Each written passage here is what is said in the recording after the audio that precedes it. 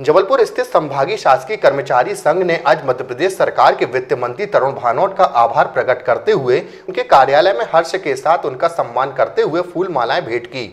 आपको बता दें कि संभागीय शासकीय कर्मचारी संघ के अध्यक्ष अरविंद राजपूत के द्वारा कर्मचारियों का तीन प्रतिशत डीए बढ़ाने की मांग भोपाल वल्लभ भवन में मंत्री तरुण भानोट के सामने रखी थी, जिसको लेकर वित्त मंत्री तरुण भानोट ने शासकीय कर्मचारी संघ को आश्वस्त किया था कि अगली कैबिनेट की चर्चा में तीन प्रतिशत डीए को बढ़ाने की मंजूरी दे दी जाएगी।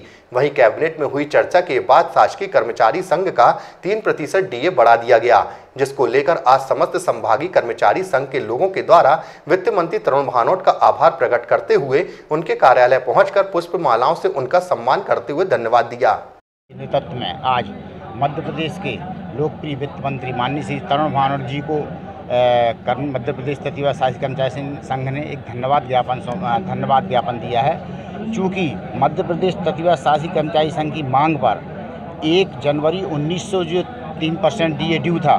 संगठन के प्रतिनिधि बल्लभ भवन गए, आपसे भेंट की और इन्होंने संगठन के प्रतिनिधि मंडल के सामने ही तत्काल डीए की फ़ाइल बुलवाई और तीन परसेंट डीए मध्य प्रदेश के कर्मचारियों को दिया।